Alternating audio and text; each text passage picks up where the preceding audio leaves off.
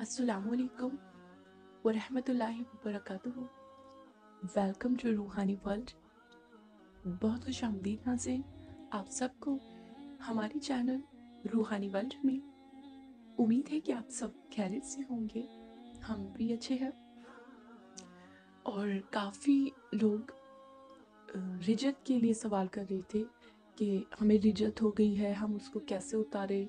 या हमने कुछ पढ़ लिया था, या हम पे ऐसा असरात हम पे ज़ाहिर हो रहे हैं तो क्या हमें हमें रिजत तो नहीं हो गई है?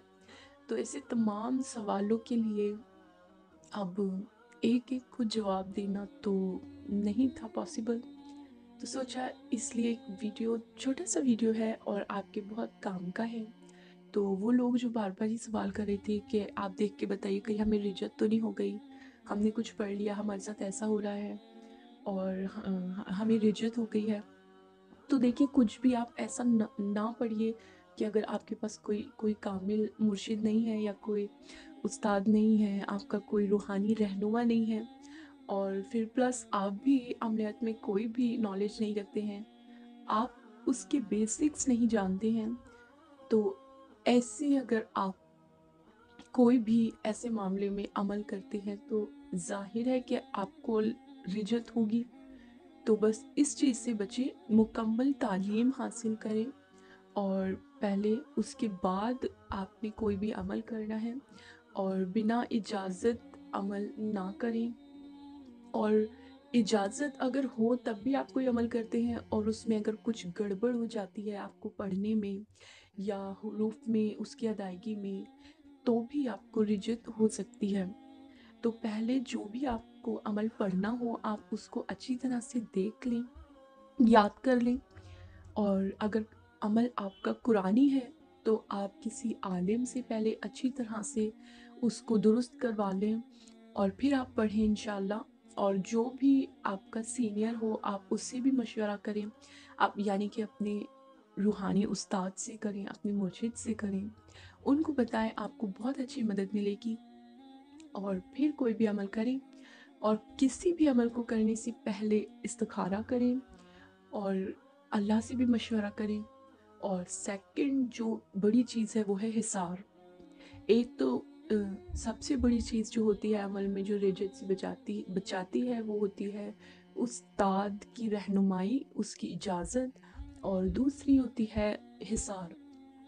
हिसार भी आप अपने मज़बूत रखें और पहले अगर आपको हिसार करना नहीं आता है तो आप हिसार का तरीका सीख लीजिए।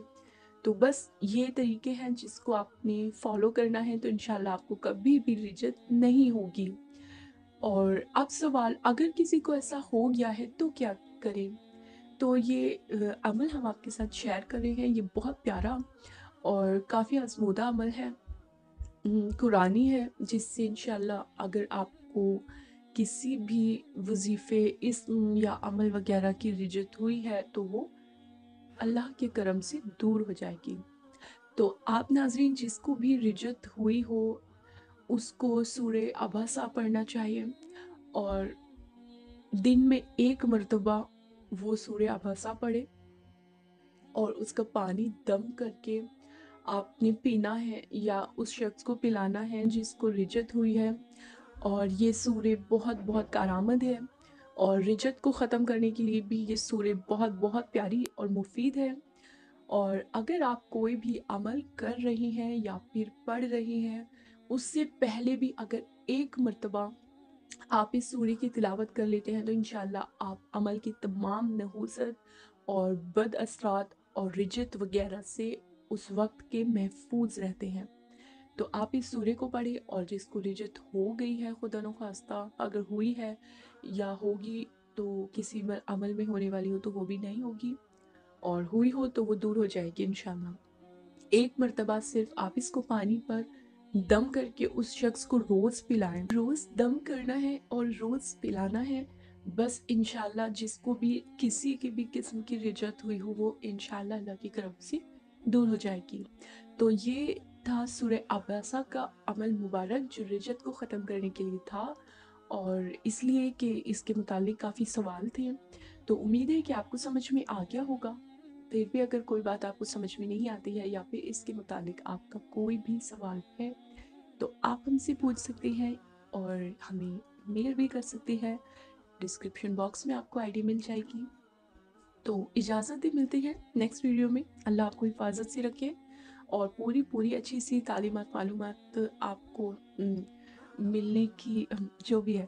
तो इन दुआ में याद रखिए। जजाकल्ला